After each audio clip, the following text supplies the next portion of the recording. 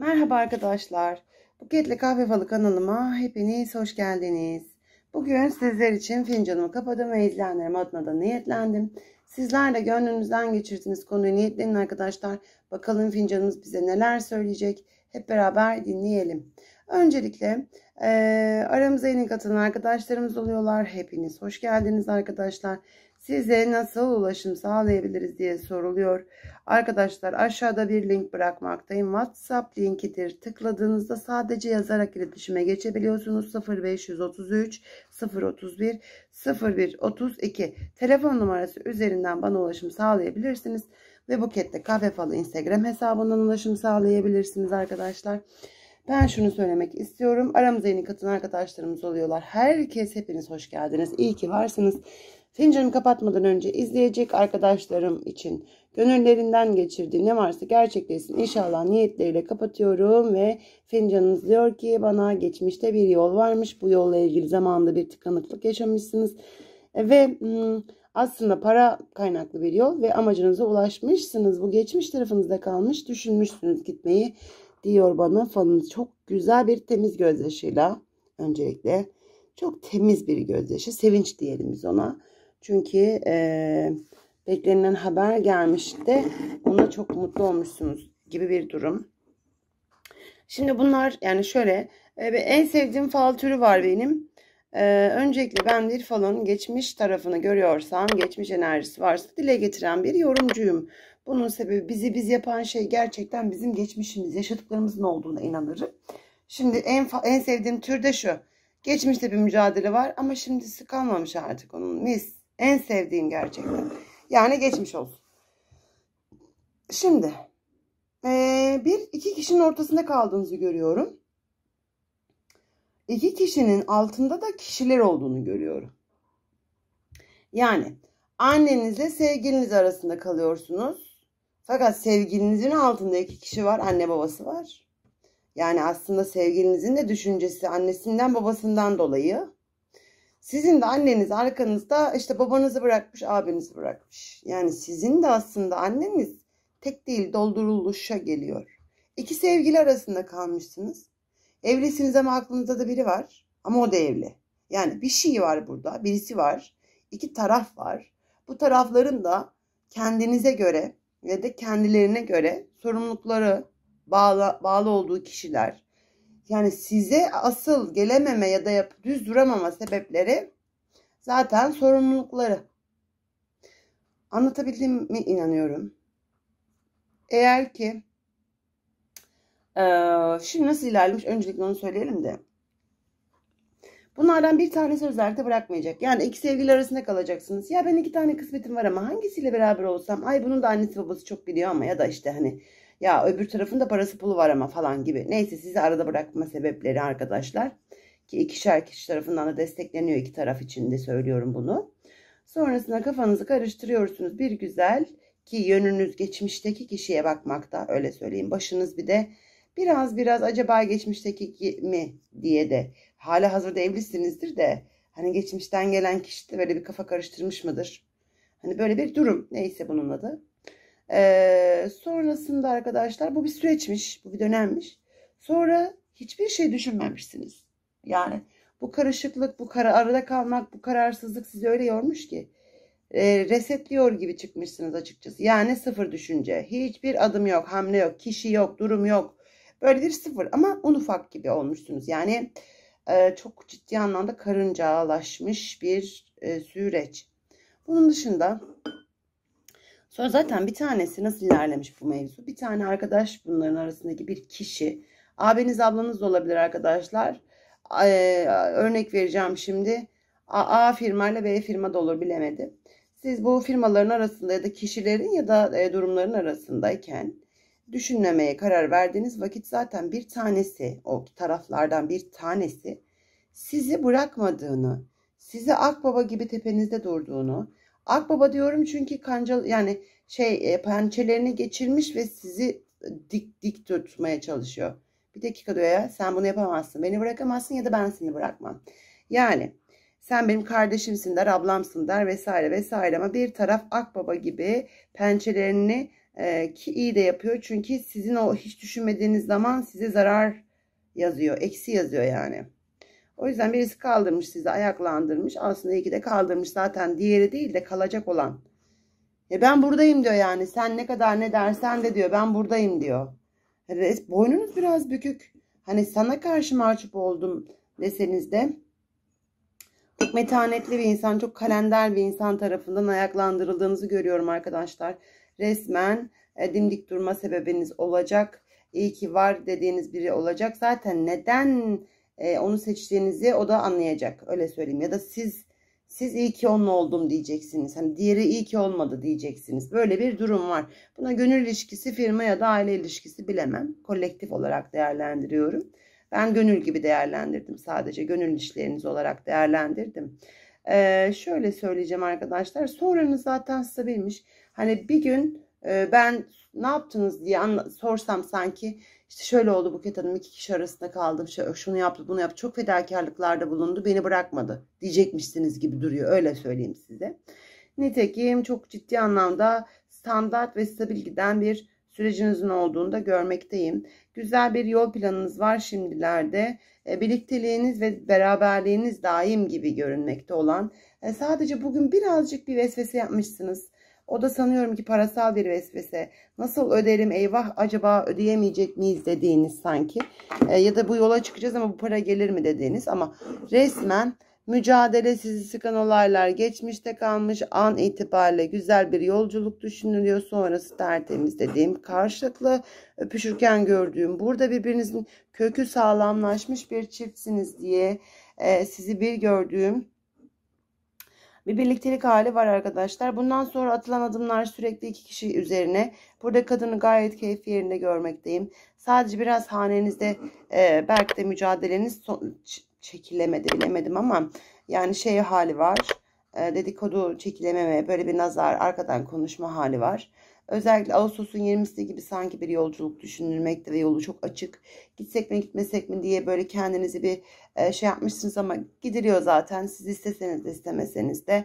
Yani çok korktuğunuz gibi de olmuyor. Parasal bir mevzuymuş gibi. O para bulunur da gidilir. Ya da gideceksiniz o parayı alır da gelirsiniz. Öyle ucu temiz çıkmış. Ee, özellikle Eylül'ün sonuna doğru böyle aşk yaşadığınız bir kalabalık sünnet düğün yapacakmışsınız gibi düşünün arkadaşlar. Böyle çiftler zaten birbirlerini çok seviyorlar. Sizi çift gördüğüm için düğün demedim. Bu düğün sizin de düğününüz olabilir ama düğün de değil de bu. Hani böyle bir nikah tazelemek gibi ya. Sanki yani çok güzel küçük kalabalıklı olan e, hani böyle kendi aranızdaymış gibi evde kına yakmak gibi bir şey böyle bir kutlama gibi. Hani böyle bir sünnet düğünü dedim o bile çok fazla kişili olur. Bu daha fazla. Yani bir kutlama yemeği var orada. Sanki böyle eşiniz devlete atandı, terfi aldı, tayin aldı da işte böyle ya da siz bir şekilde ailece herkesin keyfinin yerinde olduğu çok güzel bir kutlama hali var. Bu ne zaman Eylül sonunu göstermiş. Şimdi Ekim ayı gibi yine birbirinize çok bağlı. Ben bu çifti birbirleriyle tam bütün eksiksiz görüyorum. Hali vakti yerinde görüyorum. Mutluluğu yerinde görüyorum. Ee, bir geçmişteki karışıklık sizi çok ciddi anlamda bir birlik beraberliğe itmiş. Zaten kişi de sizi hiç bırakmak istemeyen tarafmış, iyi de etmiş diyeceğiniz bir süreçtesiniz. Keyfiniz yerinde görünmekte. Yalan dolan diyebileceğim bir durum asla yok. Güzel bir kutlama hali var. Özellikle Kasım'ın sonunda erkeği uzun, kadını kısa göstermiş. Kadın böyle bir e, kadın ya biz bu kadınlar niye böyleyiz? Çok vesveseliyiz ya. Hani en kötüsü olabilir diye korkuyoruz. Bu sefer de şey görüyorum kadına. Bir Kasım ayı gibi diyeyim ama hani gördüğüm tarihi de. Şimdi erkek uzun boylu parasını pulunu almış. Erkeğe hayranlıkla bakan bir hal var. Yani evliliğiniz her şey keyfi yerinde görünüyor. Ee, kendisinin bir tık aşağıda olduğunu düşünüp bir şeyden dolayı bir parayla alakalı. Yani şöyle ben çalışıp eşime yardım etmeliyim. Niye çalışmıyorum? Ben evde durmak istemiyorum. İşte ben çalışıyorum, muhasebeciyim. Niye muhasebe müdürü değilim? Yani bir, bir şey var orada yine bir vesvese var arkadaşlar. Sevgili kadın izleyicilerim bana kızmayın. Yani bir içten iç belki de erkeklerin rahatlığıyla alakalıdır bilemedim ama şöyle görüyorum. Kasım ayında aslında birlik beraberliğiniz yerinde. Erkeğe göre daha kısa kalmış bir durum var. Dolayısıyla kadın bu bence. e, kadının bir konuda parayla ilgili bir konuda aslında erkek bunu sıkıntı etmiyor da kadın diyor ki yani hani ben işte en iyisi, en iyisi diyor sınava gireyim de İngilizce kursunu öğreneyim. Bir şey eksik biliyorum yanlış biliyorum değil de eksik biliyorum az biliyorum daha fazlasını bileyim. Zaten 3 lira maaş veriyorum ben eve haneye kazandırıyorum 5 lira maaş kazanayım. Hani orada eşe yardım etmek parasal anlamda desteklemek kötü bir niyet yok yalnız da. Hani yine de bir vesvese kazanamayacak mıyım edemeyecek miyim? Hani erkeğin keyfi yerinde aslında 3 lira da getirsen sıkıntı yok zaten sen kendini yük ediyorsun diyor yani adam. Duruş bu. Öyle söyleyeyim size. Şimdi bakalım Kasım'dan sonra tertemiz. Evlilik hayatınızı temiz görüyorum arkadaşlar. Öyle söyleyeyim öncelikle. Hayatınızda biri yoksa da hayat arkadaşı, eş birisi var sizi bırakmaz. Bu anlattığım faldan. Bırakmayacak olan kişiyle hayatınızın devamlılığı var. Yani bakın imam nikahlı mısınızdır? Hiç nikah yoktur bir evde mi yaşarsınız? Hiç evli değilsinizdir, ayrı evlerde yaşarsınız, sevgili gibisinizdir ama e, değilsinizdir, adınız mı yoktur, evli misinizdir, nişanlı mısınızdır? Hani anlatabiliyor muyum? Her ihtimalli bir şekilde sizi çift görüyorum ben. Bu kişi uzaktan olsa da sizi bırakmaz. Aşk tarafınızda özellikle E harfinin olduğu bir kişinin sizi asla bırakmayacağını söyleyebilirim. Çok güzel bir anahtar çıkmış. Anahtar temiz. Temiz bir anahtar görüyorum. Etrafta kalabalık. Çok temiz sonrası. Hani herhalde bu kadının en son bir vesvese yapıyor kadın demiştim. Belki de çok fazla işte 3 değil de 5 getireyim de ben de bu evi alayım falan mı dedi acaba bilemedim ama o ev alınır söyleyeyim size. Ee, Kasım ayı çok güzel bir dünyanız. İşinizde de keyfiniz yerinde. Özellikle işte dedikodu atlatacaksınız ama Kasım'dan sonra hiç takılmayacaksınız bile. S harfi baskın onun yanında da. 3 kişi sanki 3 proje müdürü, 3 yönetici, 3 tane kişi, 3 kafa bilemedim. 3 kişisiniz iş tarafınızda. Yani önünüz açık diyor falınız. Bana diyor ki bu fal. Senin çarkın dönecek. işte bir sıkıntı yaşamayacaksın. Hanende bir ev alma durumu var. Kasım'dan sonra düşüneceksin. Aşkınla ilgili her şeyin yolunda. Sen bu birliktelikte keyfin yerinde. Dünyanda mutlusun. Vesveselerini boş boşuna yapma. Yeni yıla daha güzel girersin. Kasım Aralık tertemiz çıkmış. O yüzden sanki yeni yılınız o kadar çok açılmış ki hani sıkıntı yaşadığınız sürecin sonlarına gelmişsiniz de bundan sonrası Allah'ın izniyle yolum açık der gibi bir süreçtesiniz. Hem iş hem hane hem de aşkta keyfinizi yerinde gördüm açıkçası ben. Dinlediğiniz için çok teşekkür ederim arkadaşlar. Şimdi falımın sonuna gelmiş bulunmaktayım. Videoma devam ediyorum. Bunu zaten biliyorsunuz sizler de. Şimdi şunu söylemek istiyorum. Size nasıl ulaşım sağlayabiliriz diye soruluyor. 0533 031 0132 telefon numarası üzerinden bana ulaşım sağlamanız mümkün arkadaşlar.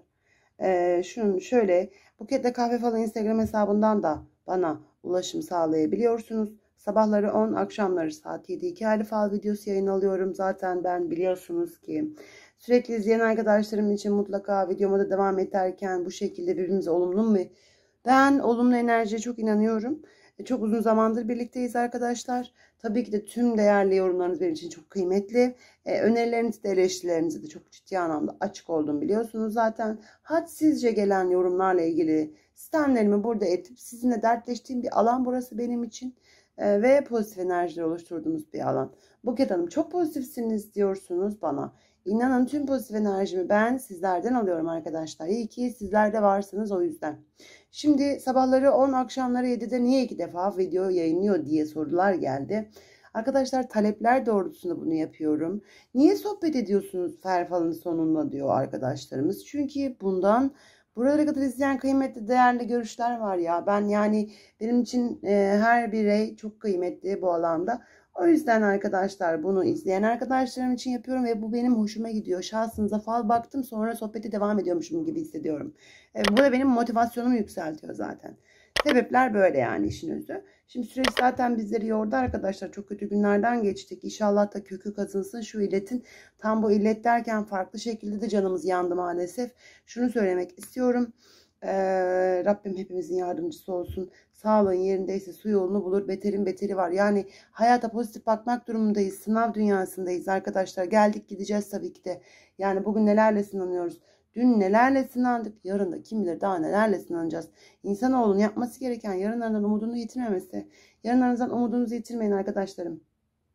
Bir kapanan kapınız varsa birisi mutlaka açılacaktır. Gerçekten öyle bu. Ee, şöyle söylemek istiyorum size. Ee, bugün size kötülük yapabilen bir yürek daha herkese yapıyordur. Daha da yapıyordur. Yani o insan emin olun buna. Benim tavsiyem, naçizane tavsiyem e, bedduadan ziyade beddua negatif enerjisi döner dolaşır seni sevdiğini bulur diyorlar. Bedduadan ziyade arkadaşlar Rabbim e, herkesin kalbinin ekmeğini yedirsin. Yaşattığın duyguyu yaşamadan ölmezsin diye bir gerçek var. Siz ilahi adaleti teslim edin arkanıza yaslanın. Yani size kim neyi yaşattıysa mutlaka bakacaktır o duygunun nasıl bir şey olduğunu tadacaktır o duyguyu yani. Siz arkanıza yaslanın bedduadan uzak durun derim. Rabbim de herkesin kalbinin ekmeğini yedirsin. Kalbinizde güzellikler ekin ki bir insan kalbinde ne varsa çevresinde onu yaşatabilir. O yüzden siz güzellikler dolu bir kalbe sahip olun inşallah. Ve içindekiler bir an önce sizin olsun. 3 buket temennisiyle videomun sonuna geldim. Sağlığınıza ve psikolojik sağlığınıza dikkat edin arkadaşlar. Cebimizde, e, yüzümüzde ciddi anlamda sarsıldı. İnşallah kökü kazanacak bu illetin diye umuyorum. Sağlığın yerindeyse su yolunu bulur. Yarınlardan umudunuzu yitirmeyin derim. E, çıkılan köprülerden iniliyor, inilen köprülerden mutlaka gün geliyor yine çıkılıyor. E, nereden biliyorsun altının üstünden daha güzel olmadığını. Rabbim e, gerçekten kapanan kapılar varsa açıyor. Bir tane mutlaka açılıyor. E, umudunuzu yeter ki yitirmeyin. Son olarak da e, kalbinizin ekmeğini yiyin diyorum. Kalbinizde güzellikler ekin. Her biri sizlerin olsun en kısa zamanda arkadaşlar. Dinlediğiniz için çok teşekkür ediyorum. Videomun sonuna geldim. Bir sonraki videomda görüşmek üzere. Sabahları 10 akşamları 7. İki ayrı video yayına alınıyor biliyorsunuz. Tabii ki de başta sağlıkla kalın arkadaşlar. Bir sonraki videomda görüşmek üzere. Hepiniz hoşçakalın.